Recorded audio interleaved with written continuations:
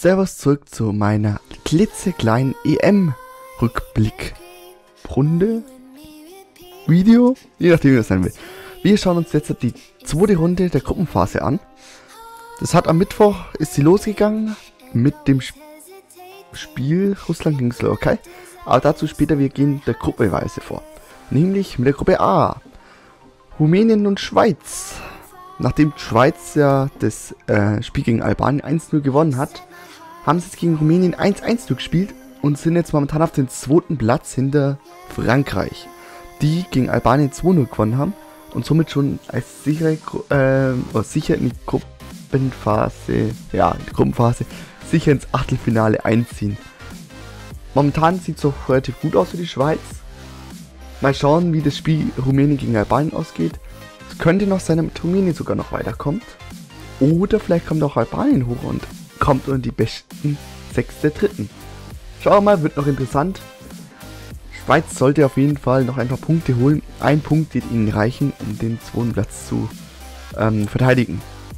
So, in der Gruppe B hat ja das erste Spiel schon am Mittwoch begonnen, oder war das erste Spiel schon am Mittwoch?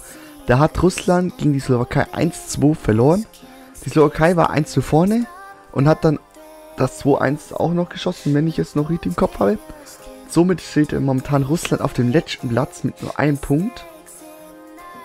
Ist schwierig für sie, ob sie da noch hochkommen. Müssen jetzt dann gegen Wales ran, die auch nicht allzu ein schlechtes äh, Spiel gemacht haben oder nicht allzu schlecht spielen zurzeit.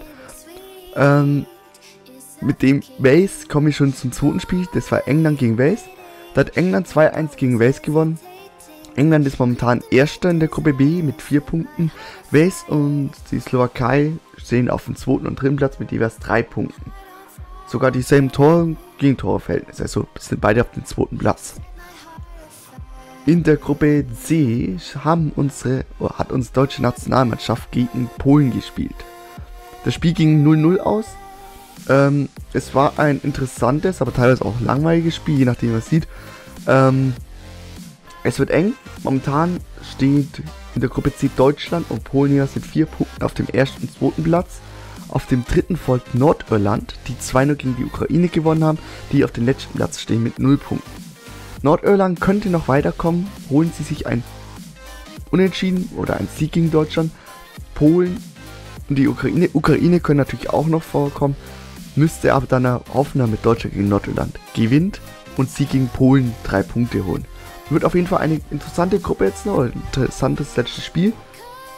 Äh, bin gespannt, wer Erster und der Zweite wird und ob vielleicht doch noch ein Dritter entsteht, der ähm, wie Nordirland zum Beispiel noch mit einzieht ins Achtelfinale.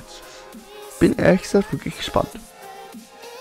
In der Gruppe D ähm, führt momentan Spanien die Gruppe an mit 6 Punkten. Sind, lass mich schauen, eigentlich auch schon sicher. Ja, sind auch schon sicher in der, äh, im Achtelfinale. Sie haben Türkei mit 3-0 geschlagen. Und die Türkei steht jetzt mit 0 Punkten am letzten Stelle. Die werden wahrscheinlich weniger Chancen erraten. Kleine Möglichkeit gibt es immer noch, aber sieht schlecht aus. Naja, schauen wir mal. Und das Spiel Kroatien-Tschechien ging 2-2 aus. Somit ist Kroatien jetzt mit 4 Punkten Zweiter und Tschechien ist mit 1 Punkt Dritter. Bin gespannt, wie das ausgeht. Das nächste spielt ja Spanien gegen Kroatien und die Türkei gegen Tschechien. Wie da die Spiele ausgehen, bin gespannt. Ich lasse mich gerne überraschen. In der Gruppe E hat am Freitag noch Italien gespielt. Italien führt momentan die Gruppe E an. Mit einem 1-0-Sieg gegen Schweden haben sie die Schweden auf den dritten Platz zurückbefördert, die jetzt dort mit einem Punkt stehen, gleich auf mit Irland.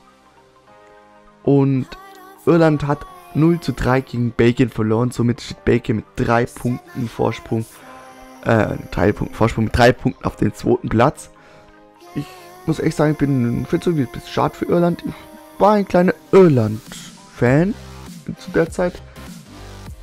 Naja, wenn es gegen Italien gewinnen würden, hätten sie noch eine Chance. Das glaube ich aber jetzt weniger, weil Italien eine sehr gute EM bisher spielt. Dann kommen wir zur Gruppe F. Gruppe F finde ich ist eh allgemein die Überraschungsgruppe bisher. Ähm, Österreich hat man etwas weiter oben mit eingeschätzt. Die stehen gerade mit einem Punkt an letzter Stelle. Haben diesen einen Punkt nach der Niederlage gegen Ungarn in, gegen Portugal geholt, die äh, mit einem 0-0. Ja. Und Portugal steht an dritter Stelle mit zwei Punkten. Und die haben sie gegen einmal mit 1-1 gegen Island und einmal mit 0-0 gegen Österreich geholt. Da hat man eigentlich auch mehr erwartet. Ungarn ist jetzt mit drei, vier Punkten vorne, da sie ja durch den Sieg gegen Österreich und durch das Unentschieden mit Island so weit vorne stehen. Island ist auf dem zweiten Platz mit zwei Punkten. Hätte man davor nicht gedacht.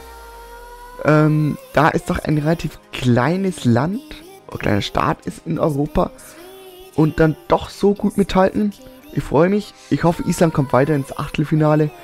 Das letzte Spiel könnte interessant werden. Island gegen Österreich und Portugal gegen Ungarn. Wenn Ungarn so weiterspielt, ist auf jeden Fall noch was drin. Island, wenn die so weiterspielen, müsste sich Österreich warm anziehen, also dann kommen die nicht mehr weiter. Naja, das war es aber, oh, das war es eigentlich schon von der Gruppenphase, von der Runde 2. Morgen, nee, heute, heute, also heute ist Sonntag, heute geht schon los mit den Spielen Rumänien gegen Albanien und Schweiz gegen Frankreich. Die Spiele finden immer zur selben Uhrzeit statt. Da ja, ähm, da die Entscheidung fällt und ich bin gespannt, wer weiterkommt. Naja.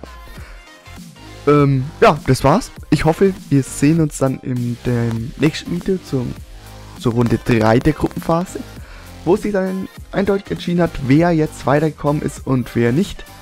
Und ja, in dem Sinne, Servus.